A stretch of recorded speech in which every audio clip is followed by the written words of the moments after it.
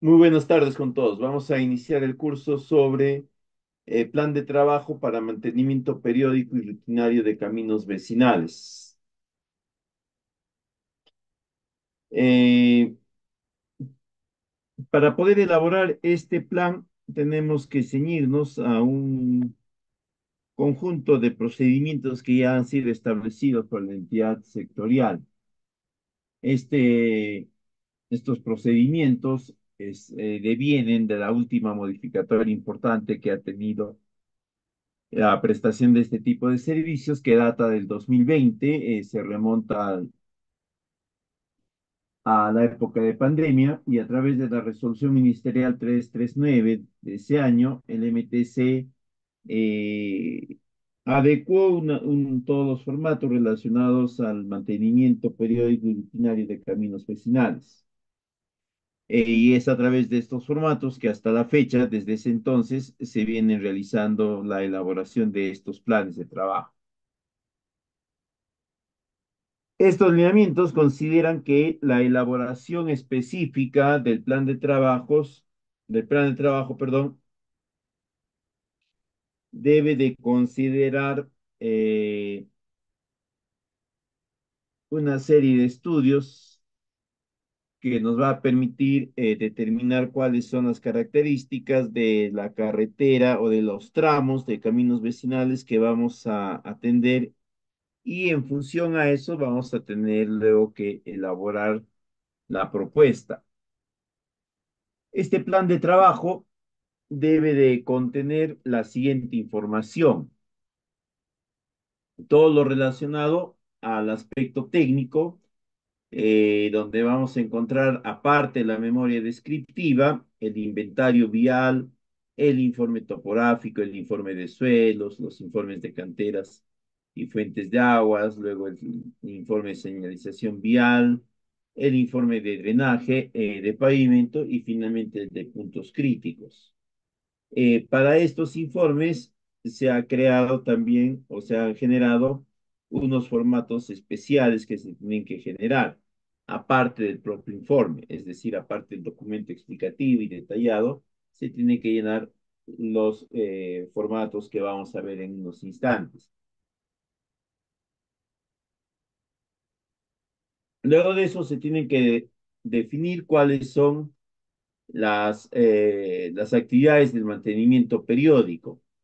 Si bien es cierto, hay un conjunto ya de actividades que están planteadas, nosotros tenemos que establecer cuáles son las características de las mismas en aspectos de, de metrados, en aspectos de las actividades que se van a realizar, los periodos en los que se van a realizar, etc. Y finalmente tenemos la tercera parte, que es el mantenimiento rutinario, que es la parte, digamos, eh, que demanda más atención, porque conlleva eh, el desarrollo de una serie de, de actividades, una serie de acciones ya definidas también. Luego tenemos los aspectos eh, ambientales y finalmente los planos. Esos son los cinco componentes que van a formar parte del plan de trabajo de eh, mantenimiento periódico y rutinario de los caminos vecinales. En la parte de la memoria descriptiva se tiene que considerar la descripción de los elementos viales que conforman un camino vecinal. Estamos hablando de la propia carretera, de las cunetas laterales, de las cunetas de, coronación, de la alcantarilla, canal de riego, en otras palabras, de todo el sistema de drenaje, tanto transversal como longitudinal, que permite que la carretera pueda operar. También se tiene que considerar eh, otro conjunto de elementos y eh, relacionados a la señalización sin dejar de lado los, eh, aquellos que correspondan a los puntos críticos, donde están los poblados, los centros poblados, algunas fallas que se puedan encontrar y demás.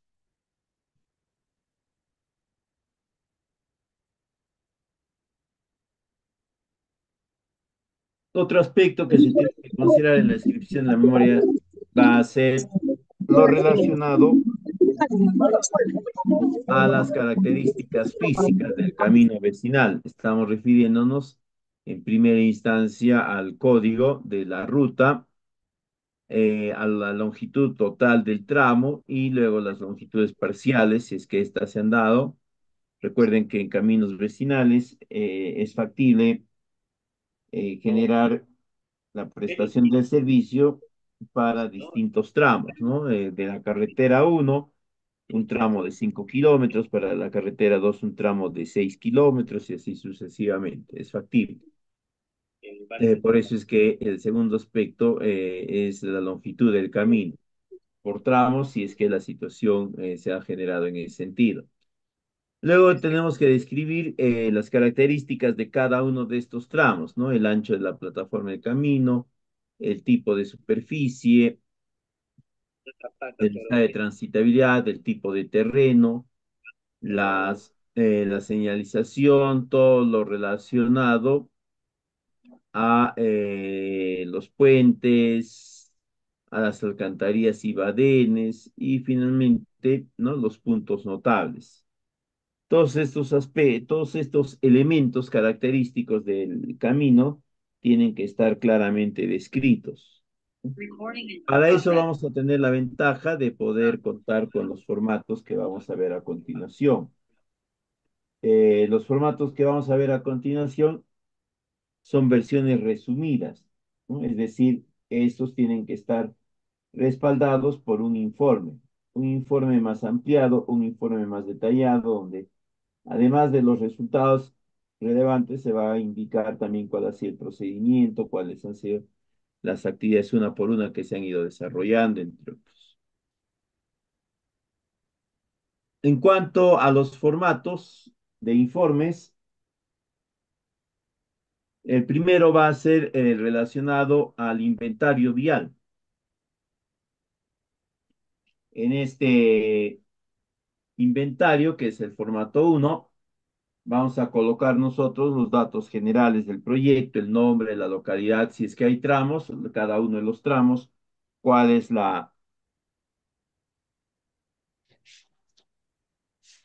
la progresiva de inicio, cuál es la progresiva de final con sus respectivas coordenadas, ¿no? De cada uno de los tramos. Si hay cinco tramos, será de cinco. Si hay de cuatro, será de cuatro y así sucesivamente. Luego se tiene que indicar la velocidad promedio del recorrido, el tiempo promedio que nos ha tomado todo el recorrido. De ahí eh, las fechas de la última realización del, del mantenimiento, ¿no? del mantenimiento rutinario y también del mantenimiento periódico. En qué momento, en qué fecha se ha realizado y demás.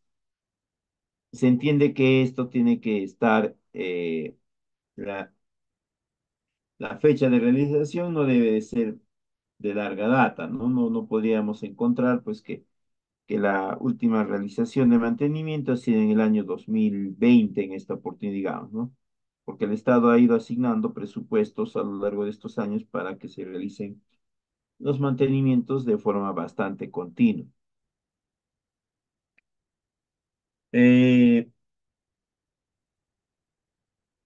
luego pasaríamos al informe eh, número 2, al informe topografía, el formato 2 también, donde al igual que en el caso anterior vamos a considerar en inicio los datos generales del proyecto, el nombre, la ubicación, región, provincia y distrito, y después vamos a describir eh, el camino por tramos, eh, cada tramo de 50 metros. ¿Ya? Eh, y ahí vamos a ir colocando la progresiva, ¿no? Empezaremos con la 00 y llegaremos hasta la 0,50, a la 0 más 0,50, luego a la 0 más, más 100 y así sucesivamente. De cada uno de estos tramos tenemos que indicar qué tipo de terreno es, si es un terreno eh, plano, si es un terreno ondulado, accidentado o escarpado. De ahí tenemos que indicar también cuál es la pendiente, tanto la pendiente mínima como la pendiente máxima. Luego, el ancho de rodadura es el ancho promedio, ¿no? Eh, para eso nosotros habríamos tomado, pues, mínimamente dos datos, ¿no? El dato de inicio en la progresiva y luego el dato de la progresiva del fin de ese tramo, recuerden que son tramos de cada 50 metros. Y por último, eh, acompañaremos el número de una fotografía, ¿no? Se entiende que por cada tramo debería haber al menos un par de fotos o tres fotos. Eh, y eso lo vamos a ir necesitando y lo vamos a ir usando a medida que se va avanzando en la elaboración de este documento. El formato 3 está relacionado a los daños en la superficie rodadura. Igualmente se colocan los, los datos del proyecto, su nombre, ubicación, la ruta y la fecha. De ahí empezamos a describir también cada tramo donde hayamos encontrado daño en la superficie. Eventualmente también podrían considerar ustedes acá eh, colocar todos los tramos, ¿no? Es decir, eh, todos los tramos del informe topográfico y los pasan a este formato, a este modelo. Podría ser, no es obligatorio, pero eventualmente podría darse, ¿no? El único formato donde van a estar todos los tramos es en el topográfico. En los demás no. En los demás puede ir parte nada más de o pueden ir solamente los tramos específicos donde se ha encontrado la deficiencia, la característica específica. En este caso, en este formato 3, eh, pueden colocar acá los tramos donde han identificado daños en la superficie y eh, luego de poner esta progresiva, tanto de inicio de fin, colocan eh, la información sobre el daño en el pavimento, ¿no? Si es tipo, eh, tendrán que definir si el daño es una deformación, una erodición, eh, es un bache, encalaminado, lodaza o cruce de agua. Y de cada uno de ellos tendrán que indicar el deterioro, la falla, es decir, la dimensión, la codificación va de 1 a 3 donde uno es eh, poco, poco notorio o poco grave, ¿ya? Eh, dos es medianamente grave y el tres ya es grave, ¿no?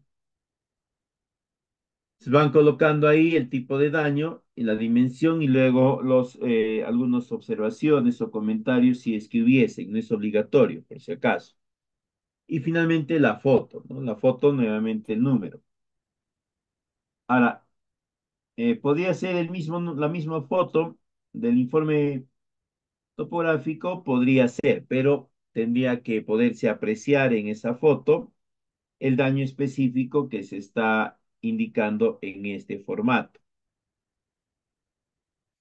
No podría ser utilizar la misma foto del eh, del informe topográfico donde no se aprecie el daño, ¿no? Se menciona el daño, se describe el daño, pero en la foto no se aprecia.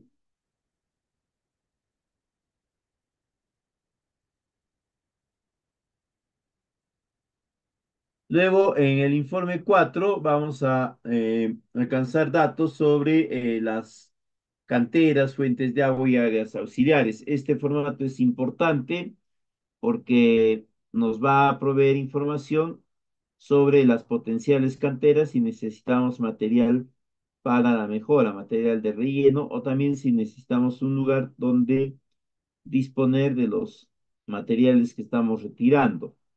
Y finalmente, ¿no? También si hay áreas auxiliares o fuentes de agua.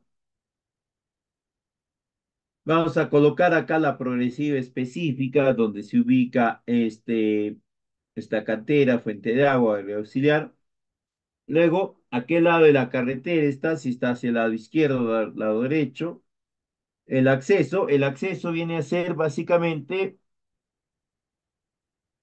el tramo expresado en metros eh, que vas a recorrer desde el borde del camino vecinal hasta el punto de inicio o de entrada a la cantera, etc. Si está al lado será pues 0 metros, si está distante a 10 metros será 10 metros, si está algo más distante, hay veces que es una cantera y que está eh, bordeando un cerro, una colina, ¿no? Pondrán ese, esa cantidad de metros en todo caso. A establecer, ¿ya? Si, ¿qué tipo de área auxiliar? Si es un patio de máquinas, un, una zona de, de, de, disposición de, restos, el campamento, o si es una cantera, una fuente de agua. Luego, el propietario. Si es que hay un propietario o hay un conflicto, tendrán que indicar acá, ¿no? Que le corresponde o que tal entidad, tal empresa, tal comunidad ha indicado, ha reclamado sus derechos sobre el predio. Luego, las observaciones y los comentarios. Y finalmente, la foto, ¿no? Igualmente una foto específica donde se muestre la cantera, el, la fuente de agua, el patio de comida, de, de maniobras, lo que fuese. Luego tenemos el formato 5, que son las obras de arte.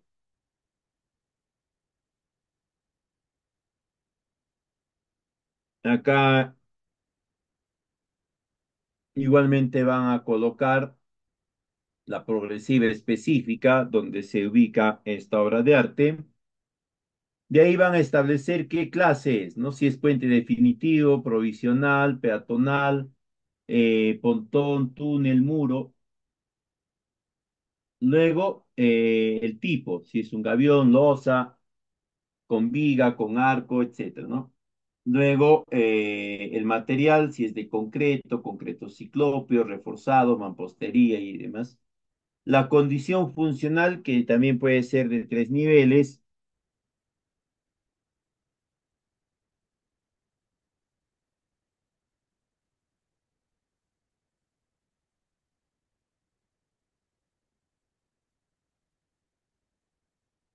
Eh, puede ser eh, bueno si es que eh, está limpio, es decir, si se, se, le ha dado un mantenimiento apropiado. Puede ser parcialmente obstruido, regular, si es que la, hay cierta obstrucción, la obstrucción tiene que estar a nivel del 10% nada más.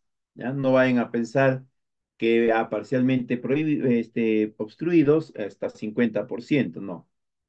La obstrucción máxima que se permite en puentes, en pontones, etcétera, es hasta un 20, en extremo 25% y totalmente obstruida si está por encima de este porcentaje. Luego la, alguna observación, algún comentario y finalmente una foto.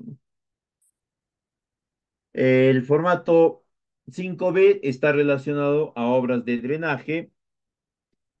Ahí van a establecer eh, si, eh, primero, cuál es la progresiva en la que está ubicada la obra de drenaje.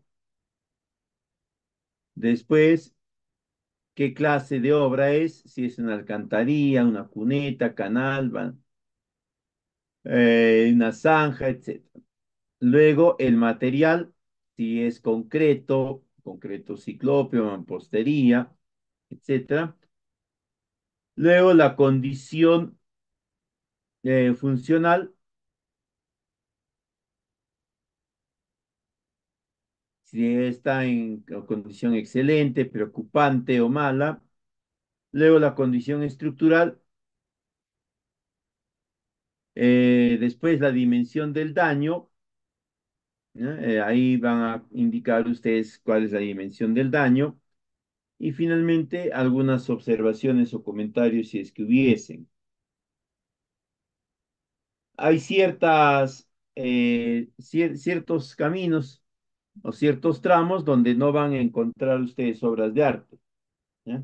Si no hay, obviamente no van a poner nada, no van a estar preocupados diciendo ahora que, que, que pongo en este informe, ¿no? En el informe incluso, si no hay obras de arte, o perdón, no hay obras de drenaje, indicarán pues que no hay obras de drenaje, ¿no? Que he realizado el recorrido, verificado todos todos los, todos los tramos, no se han identificado obras de arte y listo. Pero no vaya a ser que cometan el error de, de que como no hay obras de arte, no hago el informe ya. Tiene que existir el informe. Si no hay nada, en el informe se indicará pues que no hay, ¿no? Pero no puede dejar de existir el informe. Luego tenemos el formato 6 de señalización.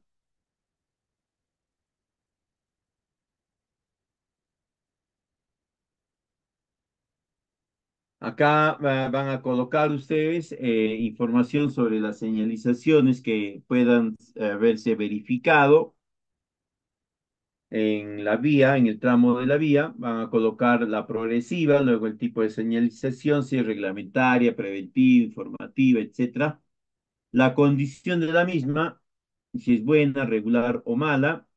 El material, fibra de vidrio, acero, concreto, madera u otros. Si es otros, ponen cinco, ¿ya? Y siempre que pongan otros, en observaciones tienen que indicar, ¿ya? Hay ocasiones, por ejemplo, que cuando ponen otros, es porque han generado eh, una señal temporal, ¿no? Este, hecha en el pueblo, digamos, que consiste básicamente en cartón pintado y forrado con, este, ¿cómo se llama esto? Cinta de embalaje. Eh, yo he visto que han hecho así en varias oportunidades. De ser ese el caso, lo indican en ese sentido. Luego la observación, el comentario y finalmente la foto que corresponda. En la foto se tiene que apreciar claramente la señal y la información relevante que se está buscando demostrar. Luego tenemos el formato 7 de puntos críticos, donde vamos a indicar nosotros eh, si hemos encontrado fallas eh, constructivas, geológicas, geotécnicas, etc. Si la hemos encontrado, tenemos que indicar cuál es la progresiva en la que está.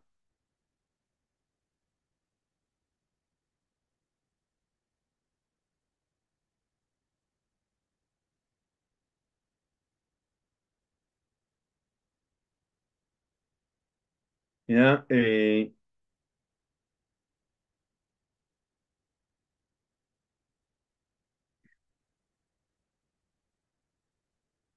eh, luego van a indicar a qué lado eh, de la carretera está este punto crítico, si es al lado derecho, al lado izquierdo.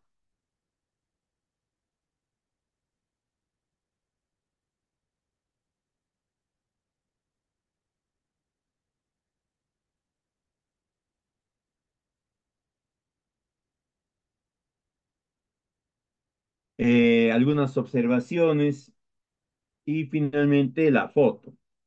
Eh, en este tipo de, de, planes de trabajo tienen que tener un buen archivo fotográfico.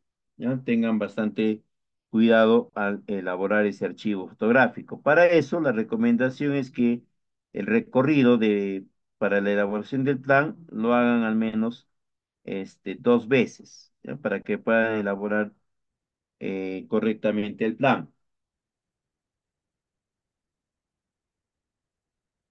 Para el informe topográfico, no se olviden que tienen que estar, todos los puntos tienen que estar georreferenciados. Es importante contar con equipos eh, calibrados, equipos también que estén operando bien,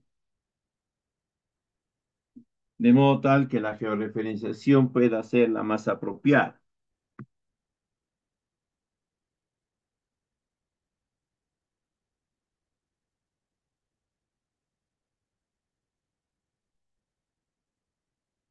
Otro aspecto fundamental es que el informe topográfico tiene que comprender todo el tramo, desde el punto de inicio hasta el punto de culminación.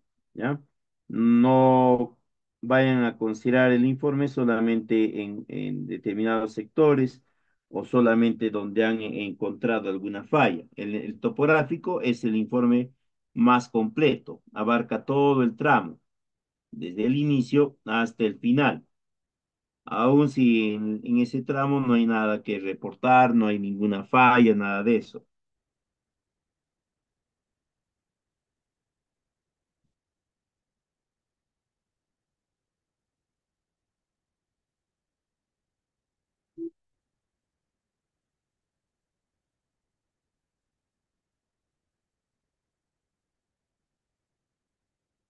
Luego está lo relacionado a las normas ambientales. Acá tienen que tener en cuenta el formato de, eh, del sector transportes que ha definido para eh, el impacto ambiental de este tipo de, de proyectos.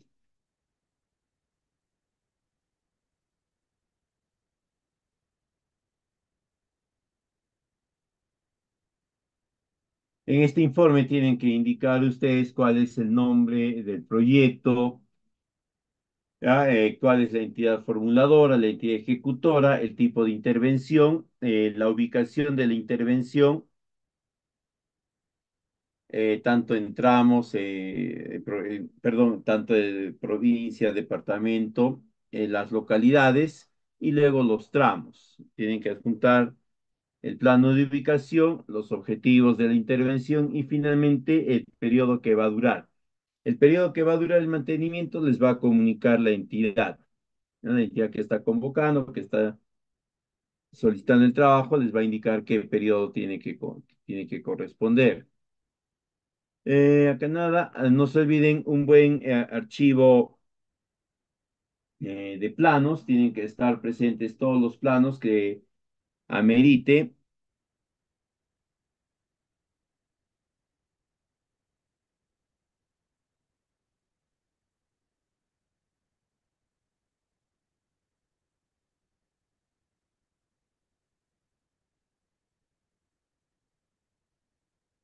Ya eh, no, no, no vayan a olvidar de poner todos los, los planos que correspondan a los distintos cortes de relleno, etcétera. También los planos que correspondan a la señalización, si es que se ha identificado que tiene que reponerse esta. En cuanto a, a las características de estos elementos, eh, pueden consultar el expediente original de la carretera o el expediente del último mantenimiento que se ha realizado. En estos van a encontrar ustedes esta información. De no encontrarla, ¿no? Tendrán que remitirse a las guías técnicas del Ministerio de Transportes para que, en función a ello, planteen estos planos, las características específicas en todo caso.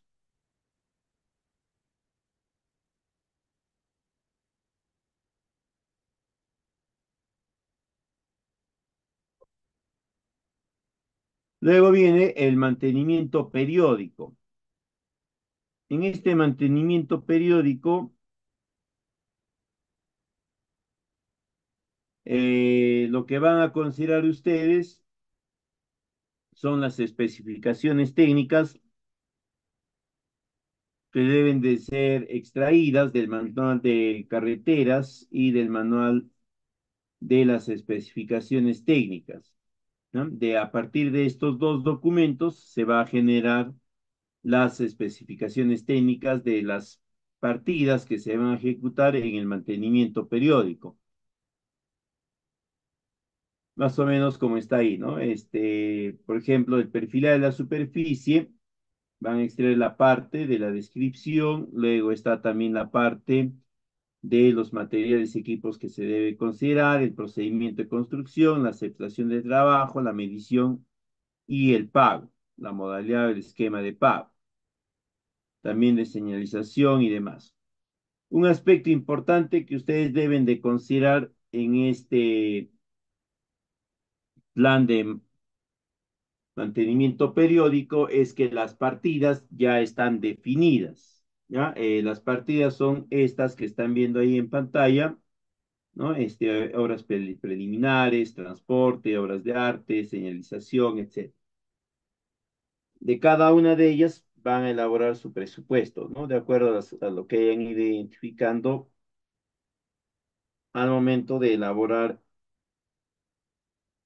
los datos de, el, del informe, del plan de trabajo. consideren siempre los insumos que se va a requerir, la mano de obra apropiada que se va a necesitar para desarrollar estos trabajos, eh, los costos de alquiler de, de los equipos, de las maquinarias que se van a utilizar. Con eso van a generar su presupuesto. Este presupuesto es específico para el mantenimiento periódico. No vayan a considerar un eh, este, presupuesto en otro sentido. ¿ya? El presupuesto del mantenimiento rutinario es distinto. Su esquema de cálculo también es distinto. Ahora lo vamos a ver.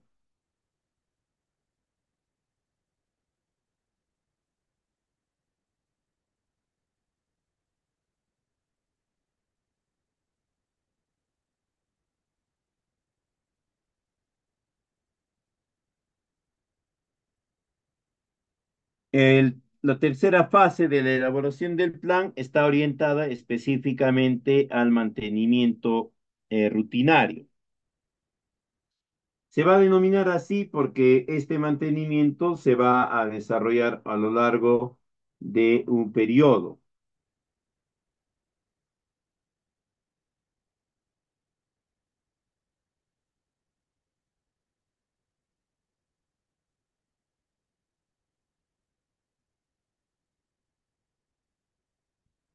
Eh, para poder definir cuáles van a ser las actividades del mantenimiento rutinario, eh, los recursos que se va a requerir, la mano de obra, el presupuesto, se tiene que establecer primero los resultados de tipologías de camino de los tramos que nos han, que nos han asignado, ¿no? Para eso se tienen que estimar los eh, cuatro factores para definir el tipo de camino, el factor de relieve, el de drenaje, el de calzada y el de vegetación. A través de estos cuatro factores vamos a poder establecer nosotros cuál es el tipo de camino. Algunos de estos factores, como el de relieve y el de drenaje, tienen eh, subíndices, ¿no? Y algunos otros, como calzada y vegetación, no. Pero cada uno de ellos tiene su eh, su fórmula para poder eh, obtener los índices. Si hablamos del factor relieve, eh, lo primero que tenemos que determinar es la pendiente eh, ponderada, el índice de pendiente ponderada. Como es una pendiente ponderada, nosotros vamos a ir estimando a lo largo de un kilómetro de recorrido o de cada un kilómetro de recorrido los distintos tramos con las pendientes que le correspondan. Por ejemplo, acá dice que tenemos 300 metros, ¿no? Eh, con una pendiente de 6, luego tenemos otros 300 metros con una pendiente de menos 8, de ahí tenemos otros 300 metros con una pendiente de 7.5 y finalmente 100 metros con una pendiente de menos 6.4. Como es una, eh, una ponderación,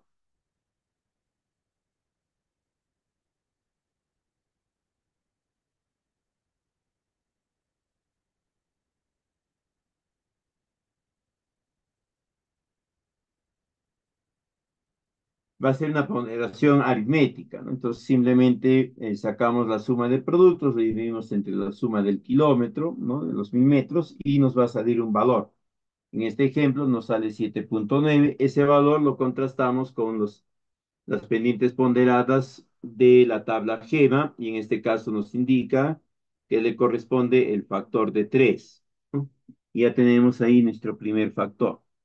Luego hacemos lo mismo con el factor de relieve. Acá vamos a tener en cuenta que puede ser eh, el, índice de estabilidad de talud, puede ser en roca fija, ¿ya? O mejor dicho, el índice dependiente de talud va a tener tres eh, componentes, roca fija, roca suelta y material suelto. De cada uno de ellos nosotros vamos a ir determinando sus subíndices. Una vez que hemos obtenido los subíndices, vamos a aplicar la fórmula, la expresión.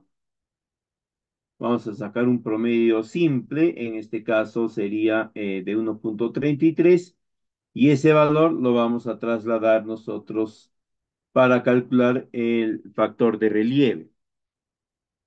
Como el, el índice de pendiente ponderada era 3, ahora el índice de estabilidad de talud es 1.33, con eso nosotros calculamos ¿no? la expresión del factor de relieve, reemplazamos en la fórmula y nos va a dar un resultado de 1.88. Nos trasladamos a la tabla GEMA y ahí vemos que ese valor cae dentro del rango de 1.5 a 2.5 y le corresponde un valor de 2. Entonces ya tenemos ahí nuestro segundo factor, o perdón, nuestro primer factor de relieve. Trabajamos de la misma forma con el factor de drenaje, ¿no? Donde vamos a tener dos subíndices, el índice de obras y el índice de precipitación pluvial. De cada uno de ellos igualmente calculamos su índice y luego lo ajustamos según los eh, valores de la tabla G. Una vez que tenemos los, estos valores, en este ejemplo, el índice de obras de drenaje es de 2 y el índice de, de, precipitación pluvial también de 2, aplicamos la expresión y nos va a dar un valor. Para el ejemplo, el valor que nos da es 2 y este valor recae dentro del rango de 1.5 a 2 y le corresponde un factor de 2. Entonces, el factor de drenaje va a ser eh, igual a 2. Ya tenemos dos factores, tenemos el de relieve y ahora tenemos el de drenaje. El tercer factor va a ser el de calzada. Acá procedemos de la misma forma, ¿no? Eh, consideramos eh, la calzada, el ancho de calzada por cada kilómetro.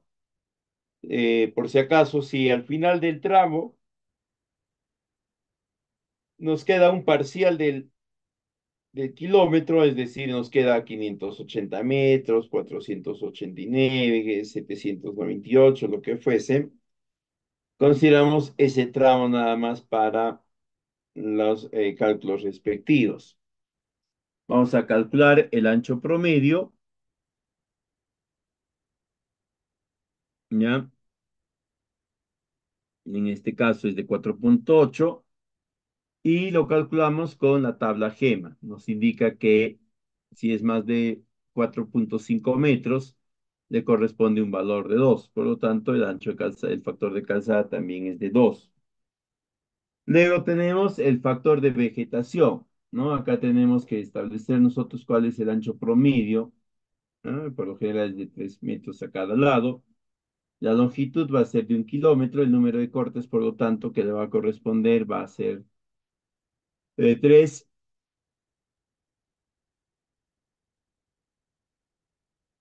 y a esto le corresponde un trabajo realizado de 1.8 hectáreas por kilómetro.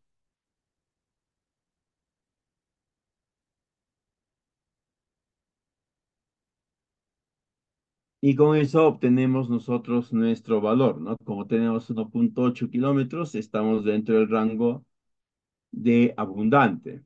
¿No? Porque dice que el área roce es igual o mayor a 1.8.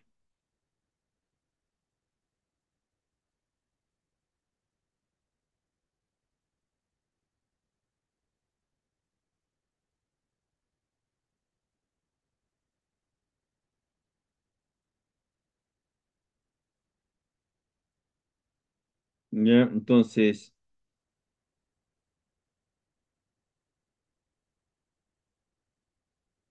Como ya tenemos nuestros cuatro factores, aplicamos la expresión, ¿no? Tenemos el factor de relieve de 2, drenaje de 2, calzada de 2 y vegetación de 3.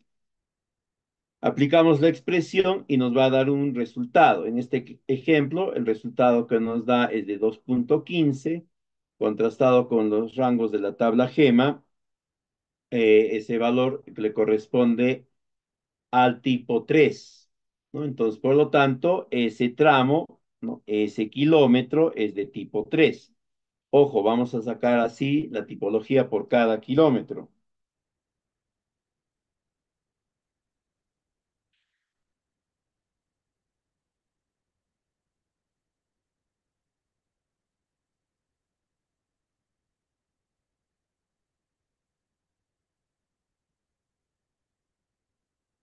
Y de cada kilómetro vamos a ir generando la misma información. Al culminar vamos a tener más o menos un ejemplo parecido, un caso parecido a este ejemplo, obviamente con muchos más kilómetros.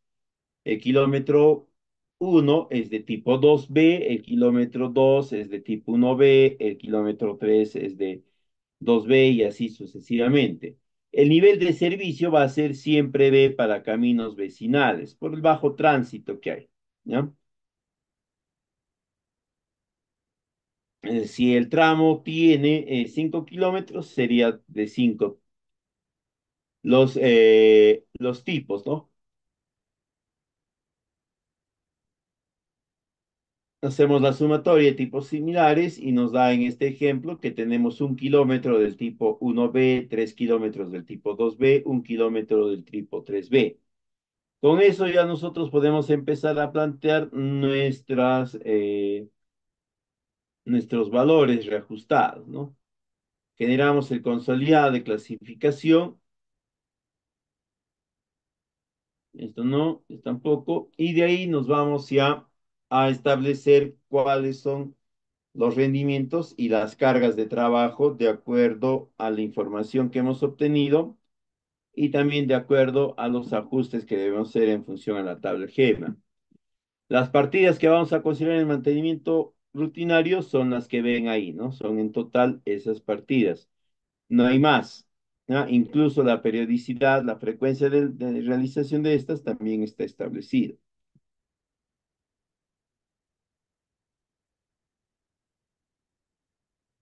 de esta tabla tenemos que trasladarnos nosotros a esta tabla, ¿no? Donde le vamos a adicionar eh, los costos, cuál va a ser el costo por actividad de cada una de las actividades que correspondían.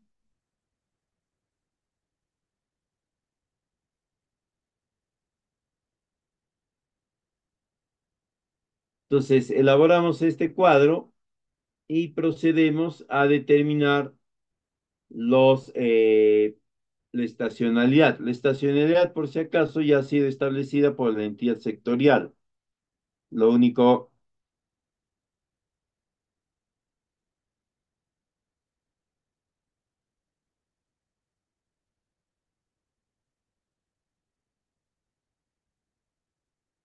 van a tener en cuenta es eh, seguir la prioridad que la entidad eh, sectorial ha establecido.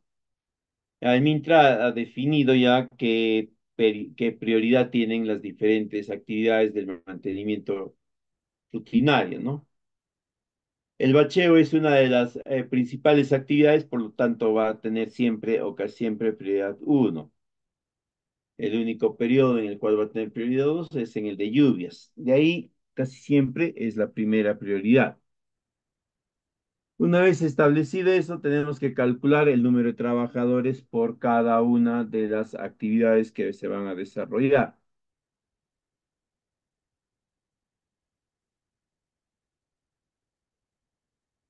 Rápidamente para ver esto vamos a suponer que tenemos un camino de 42 kilómetros y que se ha determinado que 7 kilómetros pertenecen al tipo 1B, 28 al 2B y 7 al 3B.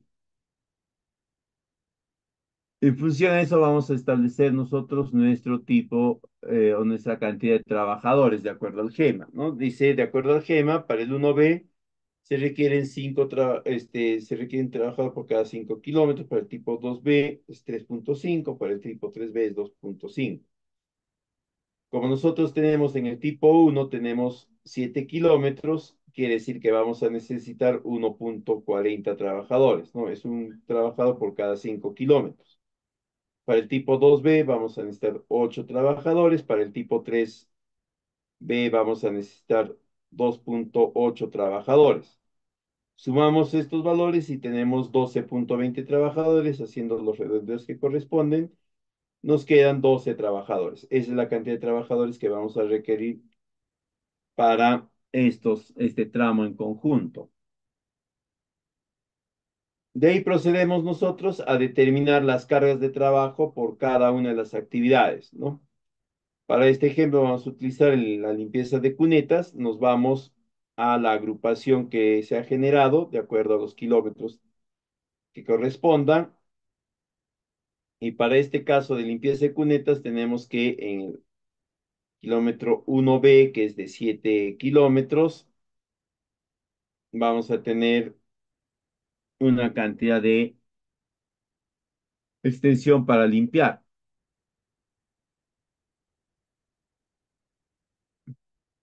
De esto nosotros determinamos cuáles van a ser las cargas de trabajo. Para ello, primero, la carga de trabajo la tenemos que establecer con la tabla GEMA. Para el 1B es de 4.700 metros lineales, ¿no? Eh, y lo dividimos entre el, la cantidad de kilómetros. Le corresponden 7 kilómetros, el resultado va a ser 671.42 metros lineales por kilómetro. Eh, la frecuencia que le corresponde a este a, este, a esta cantidad de áreas es equivalente a 1. Lo multiplicamos por 1 y nos va a dar el mismo valor. Para el tipo 2B nos resulta eh, que tenemos 16.600 metros lineales para un tramo total del tipo 2B de 28, lo dividimos y tenemos 592.86. De acuerdo a la tabla GEMA, ¿no? Le corresponde 1.200 metros lineales por kilómetro. Por lo tanto, lo multiplicamos por 2 y nos va a salir ¿no? este valor de 1.1185 metros lineales por kilómetro. Para el tipo 3B hacemos lo mismo y nos va a resultar 1.714.28 metros lineales por kilómetro. Esos son los valores con los cuales vamos a trabajar nosotros. Finalmente tenemos que hacer el reajuste correspondiente. Multiplicamos estos valores que hemos obtenido recientemente por la cantidad de kilómetros, ¿no? 671 por 7 y así sucesivamente, y nos sale un total de 49.899.78 metros lineales. Al mismo tiempo, calculamos el valor con la tabla GEMA y nos resultaría 53.200. Como estamos por debajo, eh, calculamos el incremento, que es 3.330.22 metros lineales por kilómetro, que corresponde a un porcentaje de 6.20. Ese es el incremento, vamos a decir, ¿no? Entonces ya tenemos nosotros nuestras cargas de trabajo reajustadas, que vendrían a ser estos datos de acá. Y con estos datos es que vamos a determinar la cantidad de personal y todo lo demás que viene a continuación. Primero establecemos el número de días de trabajo. Dice, para la actividad reajustada de limpieza de cunetas, vamos a requerir 49.899 metros lineales, eh, trabajando una cuadrilla con un rendimiento de 480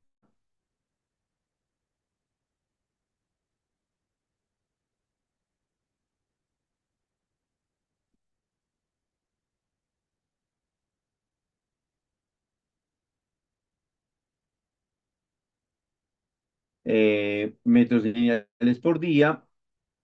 Dividimos eh, estos 49.899 metros entre los 480 metros por día y nos van a salir 104 días. Esta es la cantidad de días que necesitamos para realizar la actividad de limpieza de cunetas. A lo largo del año vamos a requerir 104 días para esto, ¿no?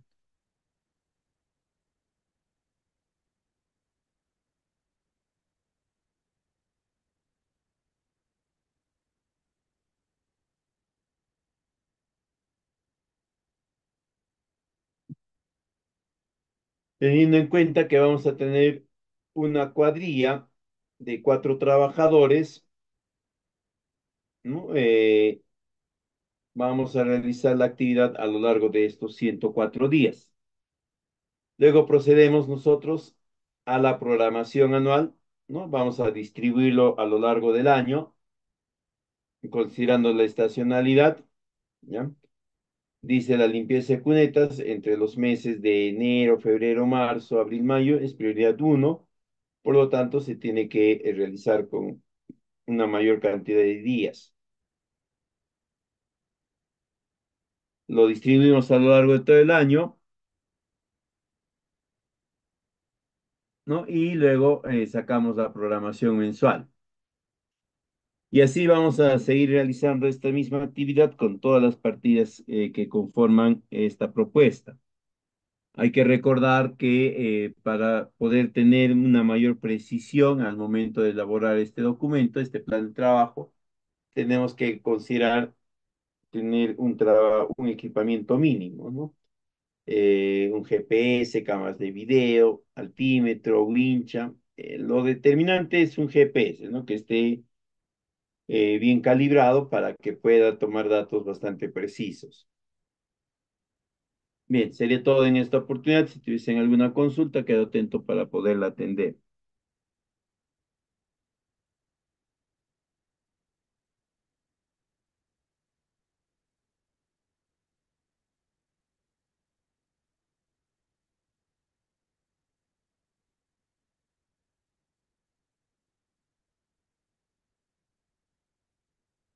Bien, si no hay preguntas, muchas gracias por la atención prestada. La PPT se les va a hacer llegar a través de la escuela. Ya les solicitan a ella nada más para que les haga llegar la copia que corresponde. Muy buenas noches con todos. Permiso.